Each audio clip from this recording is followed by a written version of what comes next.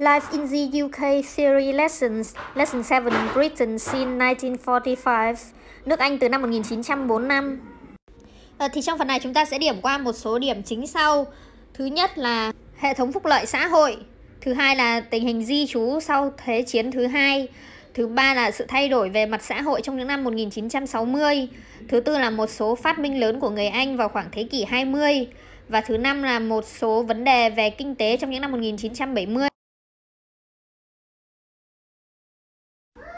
Thứ sáu là châu Âu và thị trường chung châu Âu. Thứ bảy là chính phủ bảo thủ từ năm 1979 đến năm 1997. Thứ 8 là chính phủ lao động từ năm 1997 đến năm 2010. Và cuối cùng là chính phủ liên minh từ năm 2010 trở đi. Đầu tiên chúng ta sẽ cùng tìm hiểu về The Welfare State, hệ thống phúc lợi xã hội. Thì vào năm 1945, người dân Anh đã bầu ra một chính phủ lao động. Thủ tướng mới là Clement Attlee người đã giới thiệu hệ thống phúc lợi xã hội trong báo cáo Beveridge của mình. Cho đến năm 1948, Anurin Bivan, Bộ trưởng Bộ Y tế đã lãnh đạo thành lập Dịch vụ Y tế Quốc gia hay còn gọi là NHS, đảm bảo tiêu chuẩn chăm sóc sức khỏe tốt cho tất cả mọi người được miễn phí tại các địa điểm. Ở một khía cạnh khác của sự thay đổi trong thời gian này là chính quyền tự trị cho các thuộc địa cũ. Năm 1947, độc lập đã được trao cho 9 quốc gia bao gồm Ấn Độ, Pakistan và Tích Lan nay là Sri Lanka. Vương quốc Anh đã phát triển bom nguyên tử của riêng mình và gia nhập tổ chức Hiệp ước Bắc Đại Tây Dương, hay còn gọi là khối NATO, một liên minh của các quốc gia được thành lập để chống lại mối đe dọa xâm lược của Liên Xô và các đồng minh. Ở Bộ chút sơ qua về Clement Attlee thì ông sinh ra ở London vào năm 1883. Cha ông là luật sư và sau khi học xong tại Đại học Oxford, ông cũng trở thành một luật sư. Sau đó ông đã từ bỏ việc này để làm công tác xã hội ở Đông London và cuối cùng ông trở thành nghị sĩ đảng lao động. Ông trở thành thủ tướng sau khi Đảng Lao động giành chiến thắng trong cuộc bầu cử năm 1945. Ông là thủ tướng từ năm 45 đến năm 51 và lãnh đạo Đảng Lao động trong 20 năm. Chính phủ Attlee đã thực hiện việc quốc hữu hóa các ngành công nghiệp chính như than và thép, tạo ra dịch vụ y tế quốc gia hay còn gọi là NHS và thực hiện nhiều kế hoạch cho một nhà nước phúc lợi xã hội mạnh mẽ hơn. Attlee cũng giới thiệu các biện pháp cải thiện điều kiện của người lao động. Tiếp theo ta sẽ tìm hiểu về William Beveridge. Là một nhà kinh tế và cải cách người Anh, ông phục vụ trong một thời gian ngắn với tư cách là nghị sĩ Đảng Tự Do và sau đó là lãnh đạo của Đảng Tự Do trong nghị viện. Ông được biết đến nhiều nhất qua bản báo cáo về chính sách xã hội của Anh vào năm 1942, có nhan đề Bảo hiểm xã hội và các dịch vụ liên kết do hôn tước William Beveridge chuẩn bị cho chính quyền liên minh thời chiến. À, nhân vật tiếp theo là Richard Austin Butler. À, ông sinh năm 1902, ông trở thành nghị sĩ đảng bảo thủ vào năm 1923 và giữ một số vị trí trước khi chịu trách nhiệm giáo dục vào năm 1941. Trong vai trò này, ông giám sát việc giới thiệu đạo luật giáo dục năm 1944, thường gọi là The Butler Act, hay còn gọi là đạo luật Butler, giới thiệu giáo dục trung học miễn phí ở Anh và xứ Wales. Cuối cùng trong phần này ta sẽ tìm hiểu về Dylan Thomas. Thì uh, ông là một nhà thơ và nhà văn người Wales. Các tác phẩm nổi tiếng nhất của ông bao gồm vở kịch phát thanh Under Milk Wood* được trình diễn lần đầu tiên sau khi ông qua đời vào năm 1954 và bài thơ Do Not Go Gentle in That Good Night ông viết cho người cha đang hấp hối của mình vào năm 1952. Ngày nay có một số đài tưởng niệm Dylan Thomas ở quê hương của ông, Swansea, bao gồm một bức tượng của ông và Dylan Thomas Center. Phần tiếp theo là Migration in Post-War Britain, di trú ở Anh sau chiến tranh thì tái thiết nước Anh sau Thế chiến thứ hai là một nhiệm vụ to lớn. Tình trạng thiếu lao động trầm trọng và chính phủ Anh khuyến khích công nhân từ Ireland và các khu vực khác của châu Âu đến Vương quốc Anh làm việc. Năm 1948, những người từ Tây Ấn cũng được mời đến và làm việc tại Anh. Trong những năm 1950 vẫn còn tình trạng thiếu hụt nhân công lao động ở Anh, do đó nhập cư tiếp tục được khuyến khích vì lý do kinh tế và nhiều ngành công nghiệp được quảng cáo cho người lao động đến từ nước ngoài. Ví dụ như các trung tâm đã được thành lập ở Tây Ấn để tuyển người lái xe buýt. Các công ty dệt may và kỹ thuật từ phía Bắc nước Anh và vùng Trung Du đã gửi các đại lý đến Ấn Độ và Pakistan để tìm công nhân. Trong khoảng 25 năm, những người từ Tây Ấn, Ấn Độ, Pakistan và sau đó Bangladesh đã đến để đi làm và định cư lại Anh. Ở phần tiếp theo ta sẽ tìm hiểu về social change in 1960s, sự thay đổi về mặt xã hội trong những năm 1960. Thì thập kỷ của thập niên 1960 là thời kỳ thay đổi xã hội đáng kể, nổi tiếng với tên gọi Swinging 60, có sự phát triển trong thời trang, điện ảnh và âm nhạc nổi tiếng của Anh. Hai nhóm nhạc pop nổi tiếng lúc bấy giờ là The Beatles và The Rolling Stones. Đó cũng là thời điểm luật pháp và xã hội được tự do hóa, ví dụ liên quan đến ly hôn và phá thai ở Anh, xứ Wales và Scotland. Vị trí của phụ nữ tại nơi làm việc cũng được cải thiện đáng kể. Những năm 1960 cũng là thời điểm tiến bộ công nghệ. Anh và Pháp đã phát triển máy bay thương mại siêu thanh duy nhất trên thế giới, có tên là Concorde. Các phong cách kiến trúc mới, bao gồm các tòa nhà cao tầng và việc sử dụng nguyên liệu bê tông và thép đã dần dần trở nên phổ biến. Số người di cư từ Tây Ấn, Ấn Độ, Pakistan và Bangladesh đã giảm vào cuối những năm 1960 vì chính phủ đã thông qua luật mới để hạn chế nhập cư vào Anh. À, phần tiếp theo đó là chúng ta sẽ tìm hiểu về một số phát minh lớn của người Anh trong thế kỷ 20. Thì đầu tiên phải nói đến đó là truyền hình. Thì truyền hình được phát triển bởi John Logie Baird trong những năm 1920. Năm 1932, ông đã cho phát sóng chương trình truyền hình đầu tiên giữa London và Glasgow. Um, radar thì được phát minh bởi Sir Robert Watson Watt, người đã đề xuất rằng máy bay địch có thể bị phát hiện bởi sóng vô tuyến. Cuộc thử nghiệm radar thành công đầu tiên diễn ra vào năm 1935.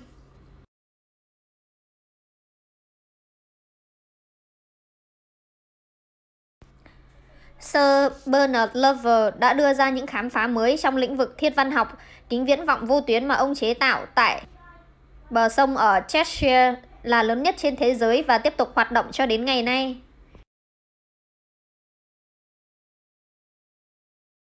Turing Machine là một thiết bị toán học lý thuyết được phát minh bởi Alan Turing, một nhà toán học người Anh vào những năm 1930.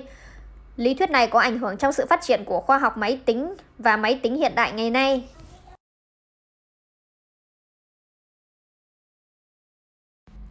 Bác sĩ và nhà nghiên cứu người Scotland John MacLeod là người đồng phát hiện ra insulin được sử dụng để điều trị trong phòng chữa bệnh tiểu đường.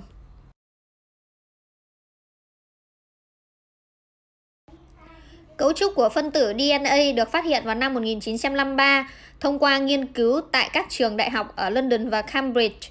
Khám phá này đã đóng góp cho nhiều tiến bộ khoa học, đặc biệt là trong y học và phòng chống tội phạm. Francis Crick, một trong những người được trao giải thưởng Nobel cho khám phá này là người Anh. Động cơ phản lực được phát triển ở Anh vào những năm 1930 bởi Sir Frank Whittle, một kỹ sư không quân Hoàng gia Anh. Sir Christopher Cockerell, một nhà phát minh người Anh đã phát minh ra thủy phi cơ Hovercraft vào những năm 1950.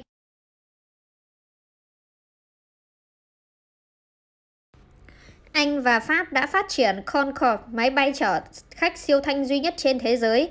Nó bay lần đầu tiên vào năm 1969 và bắt đầu chở hành khách đầu tiên vào năm 1976. Concorde đã ngừng hoạt động từ năm 2003. Máy bay phản lực nhảy Harrier, một chiếc máy bay có khả năng cất cánh thẳng đứng, cũng được thiết kế và phát triển ở Anh.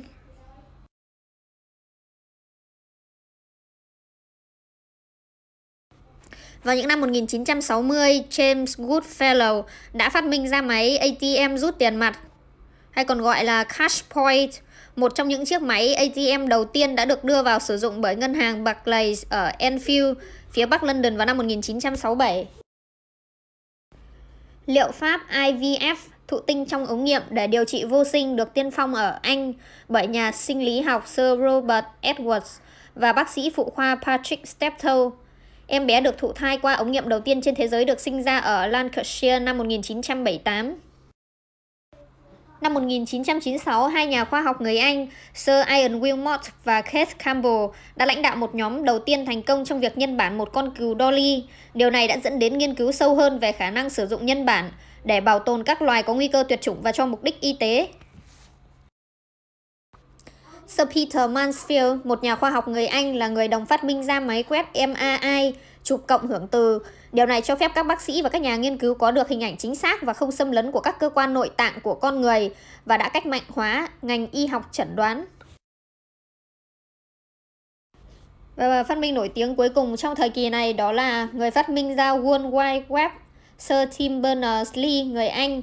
Thông tin được truyền thành công qua mạng lưới web lần đầu tiên vào ngày 25 tháng 12 năm 1990. Ở phần tiếp theo chúng ta sẽ tìm hiểu về một số vấn đề về mặt kinh tế trong những năm 1970. Thì những năm 1970 là thời điểm bất ổn nghiêm trọng ở phía Northern Ireland.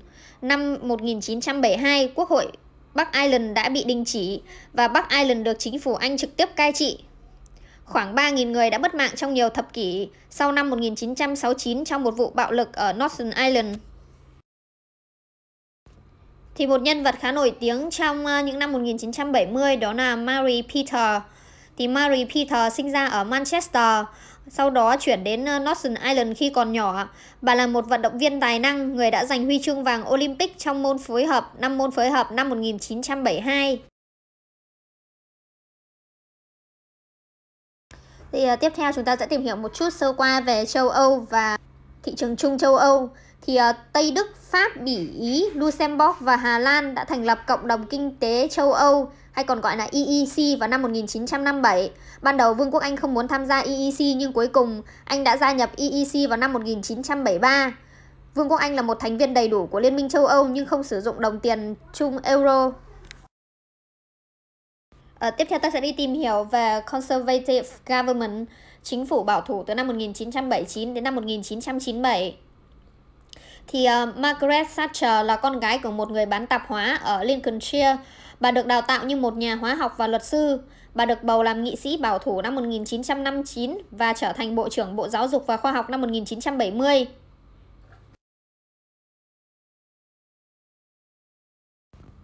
Năm 1975, Margaret Thatcher được bầu làm lãnh đạo đảng bảo thủ. Và sau chiến thắng của đảng bảo thủ trong cuộc tổng tuyển cử năm 1979, Margaret Thatcher đã trở thành nữ thủ tướng đầu tiên của Vương quốc Anh.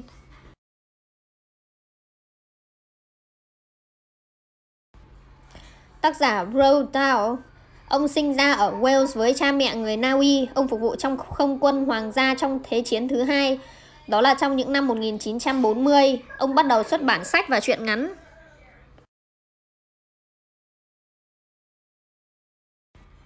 Ông nổi tiếng nhất với những cuốn sách thiếu nhi của mình, mặc dù ông cũng viết cho người lớn. Các tác phẩm nổi tiếng nhất của ông bao gồm Charlie và nhà máy sô-cô-la và y học Marvel.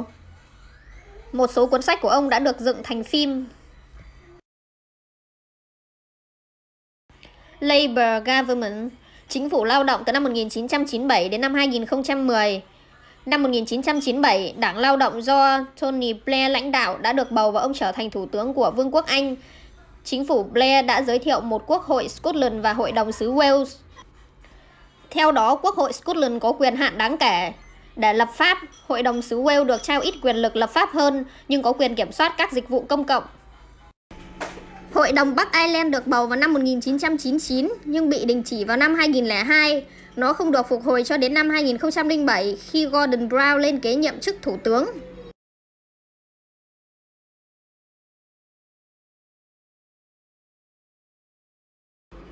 Coalition Government, chính phủ liên minh từ năm 2010 trở đi. Trong cuộc tổng tuyển cử năm 2010 tổ chức vào ngày 6 tháng 5, Đảng bảo thủ giành được số ghế nhiều nhất nhưng bị thiếu phiếu để giành được đa số phiếu cần thiết có thể lập chính phủ theo quy định của hiến pháp. Sau khi Gordon Brown từ chức, các đảng Dân chủ bảo thủ và tự do đã thành lập một liên minh và lãnh đạo đảng bảo thủ David Cameron trở thành thủ tướng. Thank you for watching. Mọi người nhớ ấn nút subscribe để ủng hộ nhé. Cảm ơn anh chị và các bạn.